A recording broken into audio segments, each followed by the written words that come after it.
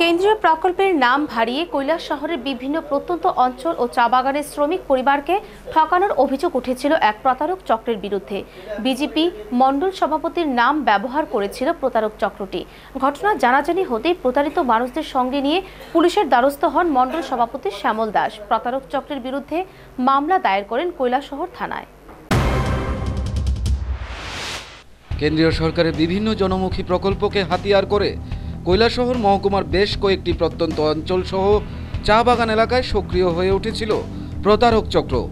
মহকুমার চণ্ডীপুর ব্লকের অধীন তাচাই চা বাগান সহ তার পার্শ্ববর্তী এলাকার বহু পরিবার হাজার হাজার টাকা খুইয়েছে এই প্রতারক চক্রের ফাঁদে পড়ে। এই প্রতারক চক্র মূলত কেন্দ্রীয় সরকারের দুটি জনপ্রিয় প্রকল্পকে হাতিয়ার করে। একটি হলো গ্যাস কানেকশন এবং অপরটি হলো বিদ্যুতের লাইন প্রদান। এই দুটি প্রকল্পের নামে প্রতারিত করা হয় গ্রামীণ এলাকার সহজ সরল মানুষদের। প্রতারক চক্রটি গ্রামীণ এলাকার বাগান শ্রমিক ও সাধারণ পরিবারগুলিকে প্রতারিত করতে প্রতারিত চক্রটি সুকৌশলে ব্যবহার করেছে বিজেপি চণ্ডীপুর মণ্ডল সভাপতি শ্যামল দাসের নাম। যেসব জায়গায় সাধারণ মানুষ প্রতারক চক্রের ফাঁদে সহজে ধরা দিচ্ছিল না, সেখানে প্রতারক চক্রটি চণ্ডীপুর বিজেপির মণ্ডল সভাপতি শ্যামল দাস তাদের পাঠিয়েছে বলে তাদের কাছ থেকে টাকা হাতিয়ে নিত। এই প্রতারণার বিষয়টি নিয়ে পূর্বেও নিউজ ভ্যানগার্ড সংবাদ পরিবেশন করেছিল। মণ্ডল সভাপতি শ্যামল দাস যখন জানতে পারেন যে তার নাম ব্যবহার করে প্রতারক চক্রটি প্রতারণা করছে, তখন তিনি দ্রুত প্রতারিত গরিব মানুষদের সঙ্গে কথাবার্তা বলেন।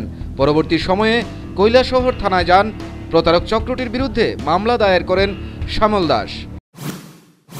আমাদের এই কৈলাসহর থানায় আমরা একটা এফআইআর করতে এসেছি।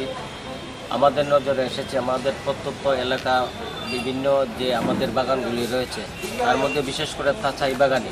তাচাই বাগানে আমাদের কেন্দ্রীয় সরকারের প্রকল্প, বিনামূল্যে গ্যাস, বিনামূল্যে বিদ্যুৎ, এইসব আমার আমরা যারা, যাদের বাড়িতে নেই, তাদেরকে আমরা কেন্দ্রীয় সরকারের যে প্রকল্প, সেই প্রকল্পের মাধ্যমে বিনামূল্যে বিদ্যুৎ এবং গ্যাস সংযোগ আমরা সরবরাহ করে থাকি। এখানে দেখা গেছে কিছু দালাল চক্র তার এই, তার সুযোগ নিয়ে আমাদের গ্যাস দেবে এবং তাদেরকে গ্যাস দেবে এবং বিনামূল্যে বিদ্যুৎ দেবে, এগুলিকে তারা ব্যবহার করে। তারা এক হাজার টাকা, এক হাজার টাকা করে প্রত্যেক গ্রাহকের কাছ থেকে তারা সংগ্রহ করছে। তবে প্রত্যেক জনগণকে সেটা জানাতে চাই যে আপনারা এই ধরনের প্রতারক থেকে আপনারা সজাগ থাকবেন। এ ধরনের কোনো প্রতারক যদি আপনাদের কাছে আসে বলে আপনাদেরকে বিদ্যুৎ দেওয়া হবে গ্যাস কানেকশন দেওয়া হবে, তার জন্য টাকা টাকা আছে আপনাদের কাছে, দাবি করে আপনারা দেবেন না। তিনি সাধারণ এলাকাবাসীদের কাছে আবেদন জানান, কেউ যেন এইভাবে টাকা না দেন। সন্দেহজনক কিছু মনে হলে সঙ্গে সঙ্গে পুলিশে খবর দেওয়ার জন্য অনুরোধ করেন। Bureau report, news Vanguard.